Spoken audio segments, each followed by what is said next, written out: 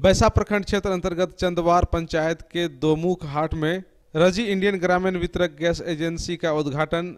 AIMIM के, के प्रदेश अध्यक्ष सांसद प्रत्याशी असरारुल इमाम ने फीता काटकर किया। इस उद्घाटन के मौके पर प्रदेश अध्यक्ष अख्तरुल इमाम ने बताया कि ग्रामीण स्तर पर गैस एजेंसी खोले जाने से अब ग्रामीण क्षेत्र के उपभोक्ताओं को सुदूर इलाके का चक्कर नहीं लगाना पड़ेगा और उन्हें आसानी से गैस कनेक्शन मिल पाएगा। ग्रामीण क्षेत्र में लोग अपने गाँव में ही गैस रिफिलिंग आसानी से करा सकेंगे। इस मौके पर इंडियन गैस एजेंसी के प्रोपराइटर मोहम्मद रहबर आलम ने बताया कि इस एजेंसी की क्षमता 5000 केजी तक की है उन्होंने बताया कि चंदवार पंचायत के अलावा अगल बगल के विभिन्न पंचायतों में भी अब इंडियन गैस उपलब्ध कराया जाएगा और इस इलाके की एक बड़ी आबादी अब इसका लाभ ले पाएँगे